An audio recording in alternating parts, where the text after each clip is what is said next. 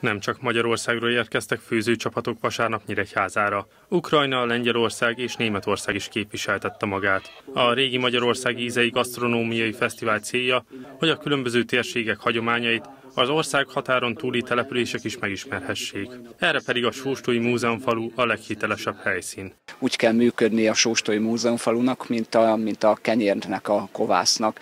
Meg kell tudni keleszteni azt a, azt a tudást, azt a régi, régi értéket, amelyen rendelkezünk, és a mai rendezvény is pontosan ezt a célt szolgálja, és természetesen emellett Nyíregyházának egy különleges varázsát, egy turisztikai vonzerejét is, is növeli, úgyhogy nagyon örülök, hogy ez a rendezvény idén is létrejött.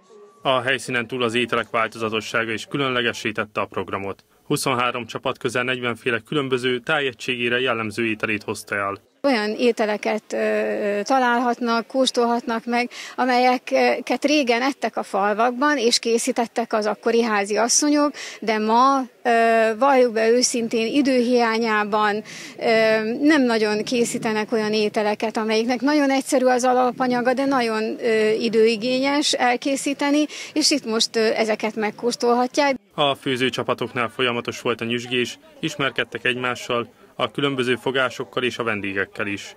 Az egyik legnépszerűbb étel az ukrán nemzetiségi önkormányzat által hozott vareniki volt. A vareniki az meg egy ravioli féle, különböző töltelékkel, burgonyával, káposztával, turóval és meggyel. Csavarfánk, köles sütemény, rántott palacsinta és sok más édesség csalogatta a vendégeket, de nem volt hiány a húsos ételekből sem.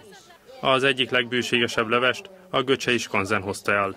Göcsei makkoltató leves, mi Zalegerszegről jöttünk az Zalegerszegi Falumúzeumból, és az ottani, hát a bakonyi betyárok levesét főzzük, amiben füstölt hús van, vadhús, kolbász, naná, erdei gomba, krumpli, a 1930-as éveknek a receptje ez. A különleges ételek mellett számos kiegészítő program várta a látogatókat.